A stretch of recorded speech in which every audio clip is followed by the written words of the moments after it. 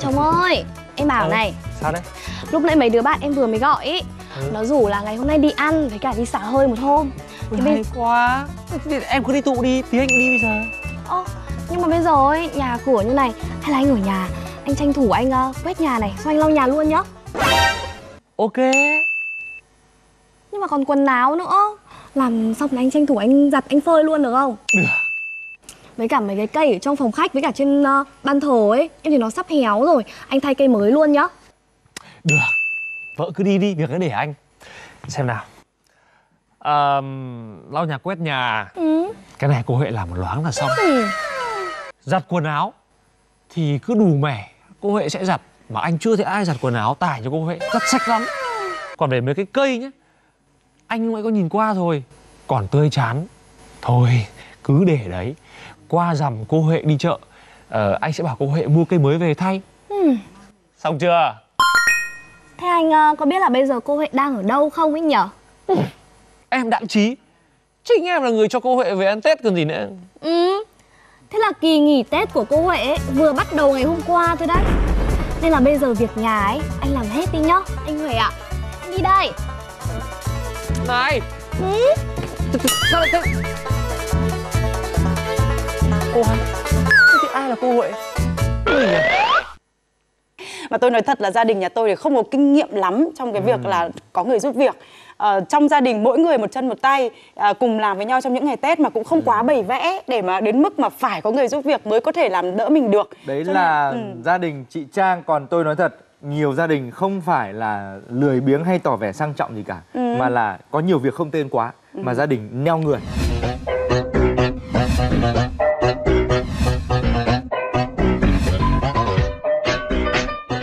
những ngày Tết thì trẻ con nó nghỉ từ hai mấy hay Dạ.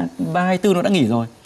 Thế thì ờm, mà mình thì lại phải là đi chúc Tết này phải cắm đầu vào chạy KPI cho kịp Tết hai vợ chồng như thế. Thành ra là cái việc mà sắm Tết thậm chí là còn không có thời gian đâu.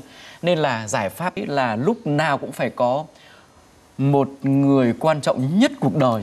Thậm chí nhá phải nói đây nói nói, nói vui nhưng mà thực ra là ở góc độ nào đấy cũng thật là quan trọng hơn cả bố mẹ đó chính là có những bà giúp việc thì à, là bà rất là ờ, chia sẻ với gia đình của gia chủ nhưng cũng có những bà là người ta cũng không chia sẻ làm đâu và mình phải làm đủ mọi cách để có thể giữ người ta ở lại gia đình nhà mình để làm sao phục vụ được cho những cái nhu cầu mong muốn của mình. Đã ở vào cái hoàn cảnh đấy thì phải hiểu là trời ơi chiều mà từ, từ lúc đó em cảm giác những vị trí là hoán đổi cho nhau.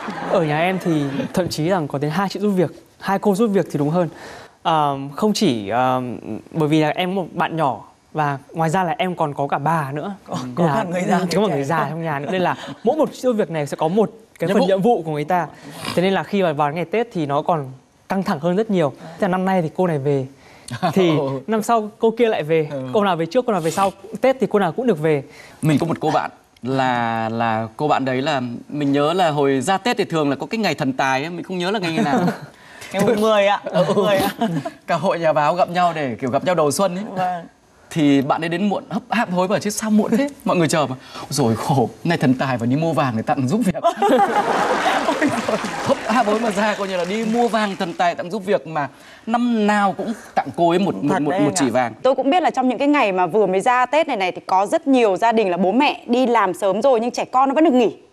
Trẻ con nó vẫn còn ở nhà thì bác giúp việc mà không có ấy, thì gia đình sẽ rất là cuống quýt. cũng phải là đến từ cái góc nhìn đã Đúng rồi. và nếu như cái góc nhìn này nó nhẹ nhàng nó thông cảm nó thấu hiểu hơn Ừ. thì mình sẽ không bao giờ cho rằng là cái việc cần hay không cần là chuyện phải có cái quy định cả hay là phải rạch ròi quá cả nếu như mà chúng ta cứ bị phụ thuộc quá ở những người giúp việc ngoài cái việc là những người giúp việc là họ họ họ họ có cái tình cảm thực sự với gia chủ của mình. Nhưng cũng có trường hợp những người giúp việc, họ lại lợi dụng vào cái việc là chúng ta phải lệ thuộc ở họ, để họ yêu sách với chúng ta và khiến chúng ta bao nhiêu năm nay thậm chí đã trở thành cái trào lưu là à thế sau Tết thì ừ, sẽ phải thuê giúp việc như thế nào? Thì là có rất nhiều những cái trung tâm em thấy mở ra anh ạ. Là để phục vụ cho cái việc là chúng tôi có đầu ra cung cấp những người giúp việc như thế và sẽ chỉ phục vụ là sau Tết. Nếu như mà giúp việc của bạn mà trốn về quê không ra nữa thì đã có chúng tôi đây.